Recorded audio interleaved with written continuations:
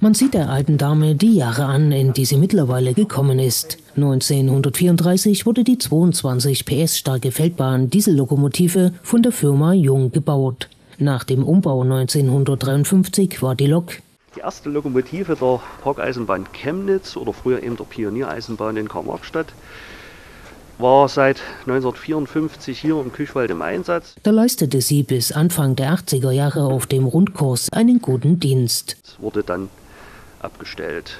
Ja. Dann stand sie viele, viele Jahre entweder im Lokschuppen abgestellt oder jetzt die letzten Jahre sogar im Freien.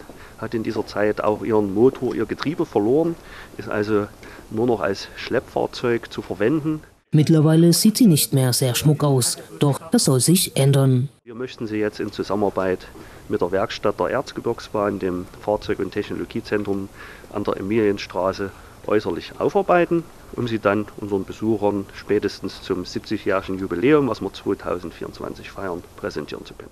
Die Aufarbeitung erfolgt im Rahmen eines Lehrlingsprojektes. Am 26. Januar wurde die alte Dame im Bahnbetriebswerk der Parkeisenbahn auf einen LKW verladen, mit dem es anschließend zum Fahrzeug- und Technologiezentrum der Erzgebirgsbahn ging. Wenn die Lehrlinge sie auf Fotomann gebracht haben werden, stehen für die Lok keine großen Fahrten mehr an. Nein, jetzt erstmal nicht, ist wirklich nur als Ausstellungsstück vorgesehen, dass sie wieder ordentlich aussieht oder mal auch in dem Zug auf dem Rundkurs präsentiert werden kann.